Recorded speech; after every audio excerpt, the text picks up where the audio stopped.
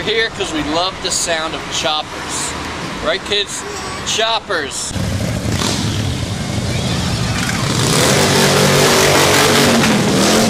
And they're exciting, and it's a good family event. Good excuse to get outside and enjoy downtown York once in a while. Well, one, Harleys are made in York, PA. Two, like I said, I grew up a few blocks from here. And it's nice to see the American-made machinery rolling down the streets.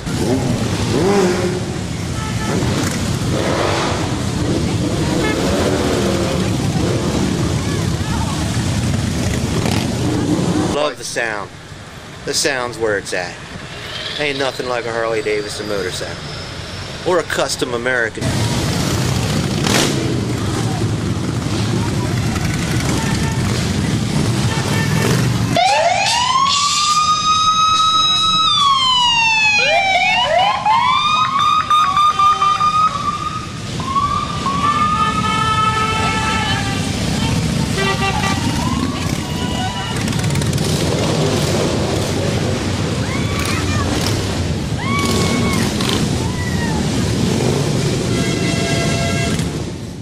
Oh, Lord, my goodness gracious.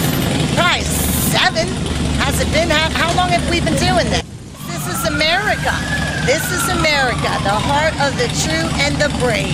The free, liberty, justice for all. This is us. This is us. This is us.